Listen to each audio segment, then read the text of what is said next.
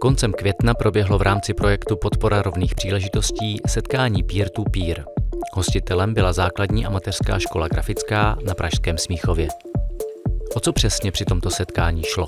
Jedná se o setkání ředitelů škol, eh, či zástupců škol, či členů školního poradenského pracoviště eh, v rámci tohoto projektu, kde si vlastně ředitelé a ostatní pedagogové mohou vyměňovat zkušenosti s péčí o žáky ze sociálně znevýhodněného prostředí. Odkud tito ředitelé a pedagogové přijeli?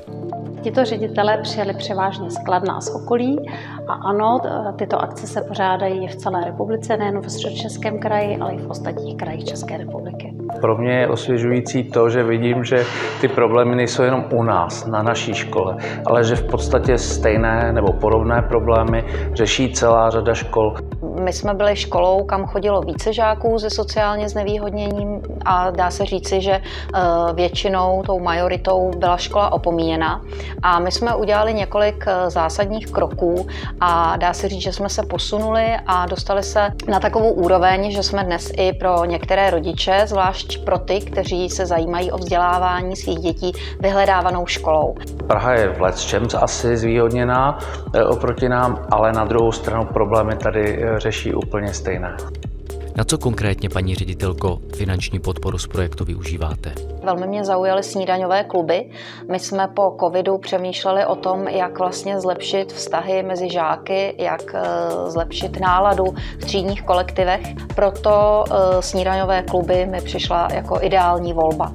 Eh, potom určitě mám velký zájem po pracovních a personálních pozicích, protože ve škole jsme bohužel téměř každý den v situaci, kdy nám někdo chybí a proto je dobré mít ten tým rozšířený, takže my z naší zkušenosti potřebujeme sociálního pedagoga, eh, máme poprvé týmového pedagoga a také jsme rozšířili pozici speciálního pedagoga. A již z minulých projektů jsem měla velmi dobrou zkušenost s coachingem, takže využíváme služeb koučky a už dlouholetou zkušenost máme ze supervizí týmu, takže jsme se zapojili i do supervizních setkání čem pro vás bylo setkání peer-to-peer přínosné? Takováhle setkání jsou pro mě důležitá hlavně v tom směru, že samozřejmě připravené informace jsou pro mě podnětné, ale daleko víc podnětné je pro mě setkávání s ostatními řediteli, s kterými můžeme sdílet svoje praktické zkušenosti, s kterými si v zásadě můžeme sdílet nějaké problematické situace, eh, které bychom třeba složitě hledali v nějakých legislativách a můžeme si prakticky poradit a je to prostě pro mě podnětné. Je vynikající, že člověk trošičku eh, odejde z té své ředitelny. No a další věc je to, že se tady eh, setkáte eh, vlastně s lidmi, kteří při tom řešení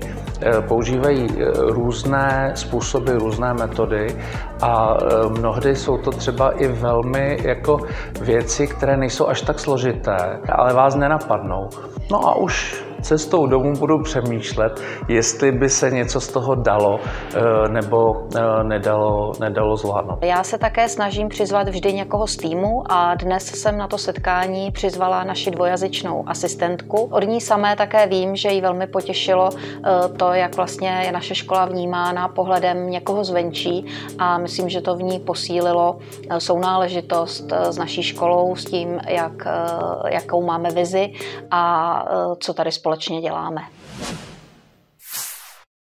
Hlavním cílem projektu je realizovat řešení vedoucí ke snižování rostoucích nerovností ve vzdělávání. Metodicky bude po celé České republice podporováno nejméně 400 škol s vyšším počtem žáků se sociálním znevýhodněním.